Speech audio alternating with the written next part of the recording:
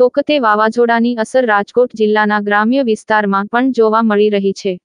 વાત છે ઉપલેટા તાલુકાના ગઢાળા ગામની કે જ્યાં કેસર કેરીના પાકમાં ભારે નુકસાની જોવા મળી રહી છે. રાજકોટ જિલ્લાના ઉપલેટા તાલુકાના ગઢાળા ગામમાં તોકતે વાવાઝોડાની ભયાનક અસર જોવા મળી છે. ઉપલેટા તાલુકાના ગઢાળા ગામમાં કેસર કેરીના પાકમાં તોકતેના કારણે ભારે નુકસાન થયું છે જેના દ્રશ્યો જોવા મળી રહ્યા છે. વાવાઝોડાને કારણે કેસર કેરીનો પુષ્કળ પાક ખરી પડ્યો છે અને કેરીનું વાવેતર કરતા ખેડૂતો ચિંતિત બન્યા છે. ફળોનો રાજા કહેવાતી કેસર કેરીનો પાક ખરી પડતા કેરીનું વાવેતર કરતા ખેડૂતોને આર્થિક નુકસાન ભોગવવાનો વારો આવ્યો છે. બસો પાંત્રીસ વીઘાની તૈયાર થઈ ગયેલ કેરી ખરી પડતા ખેડૂતોને લાખો રૂપિયાનું નુકસાન થયું છે.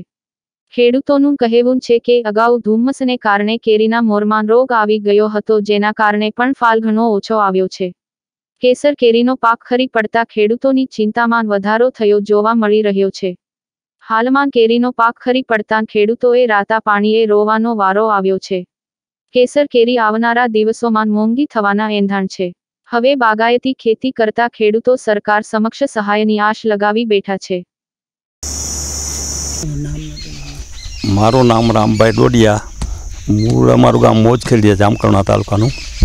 અને અમારો બગીચો છે, ગામ ગઢાળા ઉપલેટા તાલુકો. અહીંયા અમારે બસો ને પાંત્રીસ વીઘાનો બગીચો છે. નોખી નોખી ચાર જગ્યાએ કુલ છ હજાર ને પાંચસો ઝાડવા છે. અને આ અટાણે ત્રણસોથી સાડા ત્રણસો મણ કેરી અમારે આજે વીણી હજી કાલે વીણશે, બે દી વીણતા થાય. અંદાજે એટલી ખરી છે. અને આનો અટાણે બજારમાં દેવા જવું તો કાંઈ ભાવ આવે નહીં.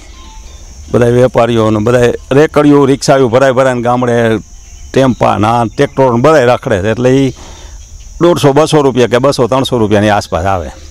પણ આ માલ ત્રણ ચાદીમાં નિકાલ થાય, પછી કેરીનો ભાવ, અઠવાડિયા પછી કેરીનો ભાવ આવશે. એટલું કારણ કે માલ જ નથી. એક તો માલ ઉત્પાદન ઓછું હતું અને આ વીસ પચીસ ટકા માલ ખરી ગયો.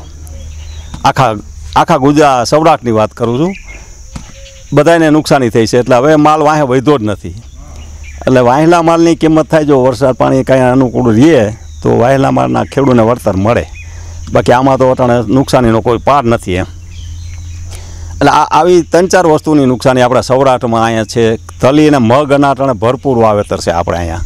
અને એ બધી વસ્તુ એવી છે કે એ દસ દસ પંદર પંદર મણ થાય અને પચીસ ત્રીસ ત્રીસ હજાર રૂપિયાનો વીઘે પેદાય થાય હતી. એને બદલે જીરો થઈ ગયા. સરકારે કાલ સીએમએ જાહેરાત કરી છે. કાલે સાંજના કે ભાઈ તલી, મગ, કેરી, કેળા, પોપૈયા બધાય એમ કે ઉનાળુ પાકમાં બધાય વળતર આપ સર્વે કરાવશે એટલે એક ટૂંક સમયમાં એક બે દીમાં સર્વે કામ ચાલુ થાય અને સરકાર જે વળતર આપે.